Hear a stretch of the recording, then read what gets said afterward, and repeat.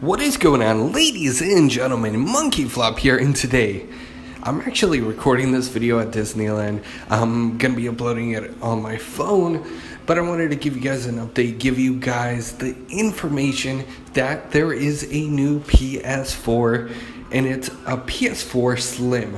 Now, there's been rumor and speculation for a long time that a PlayStation 4 Slim is in the works, and now we get confirmed pictures of it um, I'll link you to the dude's Twitter that actually sent a bunch more photos for for all of us.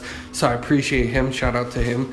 Um, but today I wanted to talk a little bit more about the PS4 Slim. So as you guys can see, it's it's slightly smaller. It doesn't look like you have the option to have a removable hard drive, and I do not see an optical uh, connection anywhere. So for those of you guys that are purchasing or have a headset, uh, it might be difficult. You might have to go and buy an adapter if you get this PS4.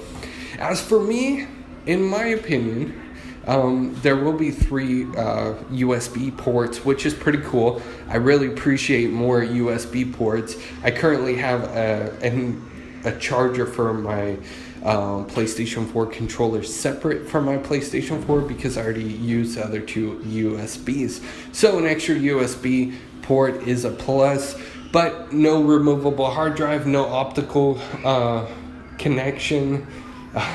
This is not going to be an option for me. Um, I currently have uh, upgraded my PS4 to two terabyte. Um, happy with it the way it is right now. Um, so for me, in my opinion, I'm staying away from the PS4 Slim.